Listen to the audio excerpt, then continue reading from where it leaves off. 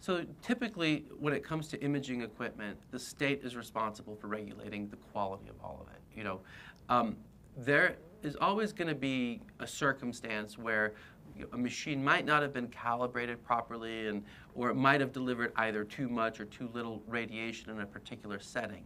And in this era that we live in, the amount of regulation that typically comes from the state, but also from the county, is so intense that it's really, really hard, uh, you know, to have an overdose or an underdose. And typically, if that happens, again, the you know, it's a very isolated event, and the impact is still usually very minimal.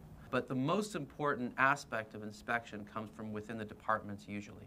Uh, they will either hire third party vendors to come in there who specialize in inspecting imaging equipment and making sure it's up to certain national standards or, or um, you know, radiology standards. Um, and those inspections are, are done usually on a daily or every other day basis to make sure everything is exactly where it needs to be so that there's no mistakes done.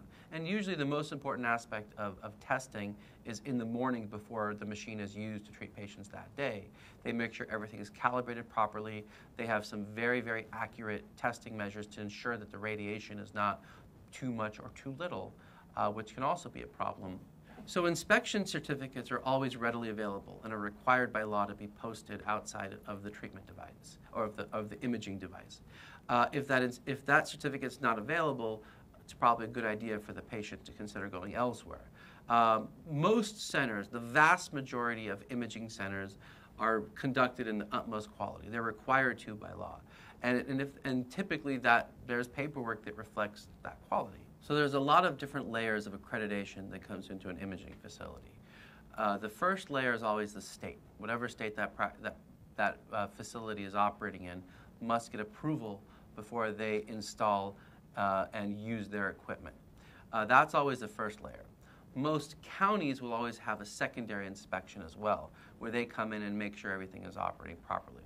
But uh, good quality imaging centers will always make sure that they have a third party or a manager or someone that's responsible for doing their own daily inspections and quality assurance measures. So the accreditation process always starts with the state.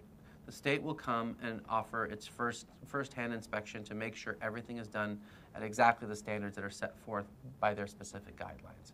Then the next step it would be uh, county inspections. Some some counties don't require it, but most of them do, uh, to make sure everything is done at the standards that, that they've also set forth. Um, and then the final layer of inspections are within uh, the society. So, for example, the Radiological Society might have um, uh, accreditation guidelines, and they're not necessarily requirements, but they'll have their own uh, layers that you have to go through above and beyond what the state and the county might require.